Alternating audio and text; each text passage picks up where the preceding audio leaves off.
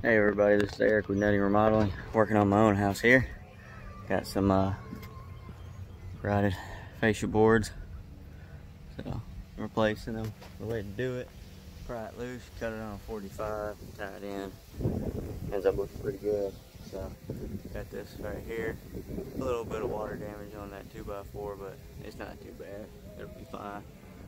But uh, anyway, what you do, you get your board, you pry it loose to where it's in some good stuff. Then you shove a pry bar or 2x4 or something in there to space it out. Put you a mark on your board with a speed square, like so. And then once you get that mark gone, you run up here with a circular saw or a skill saw. But putting this pry bar on here allows you to get it spaced out so you're not going to cut into your roofing. So when you go to cut, see if I can turn this around. So you set your saw on a 45 and what you're gonna do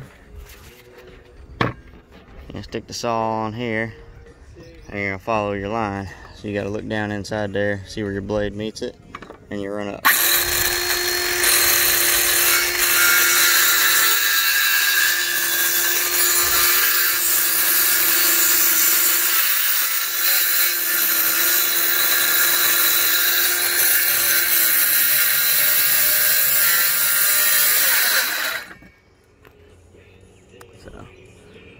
45.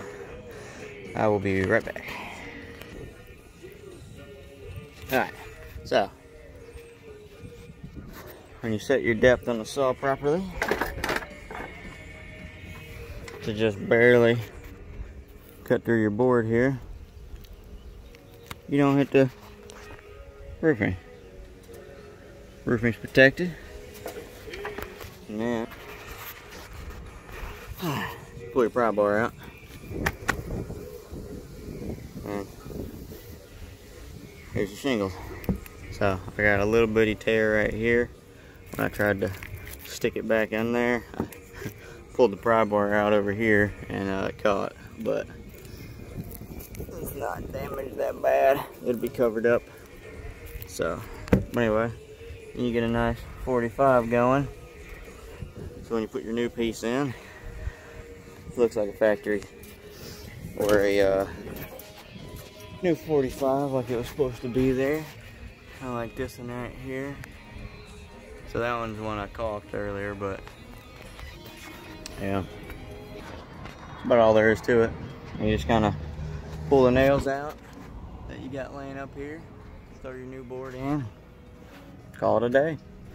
Um, another thing you can do, you can some caulking and run it in your joints before you attach your new board. Uh, it'll last a little longer than if you just slap a board up there and then caulk after the fact because the whole joint's full of caulk but as you can see this line right here I'll have to go back and caulk caulk everything else and then I got a hole I uh, got a patch with some Bondo. Alright that's all. Hopefully uh, this helps y'all out weekend project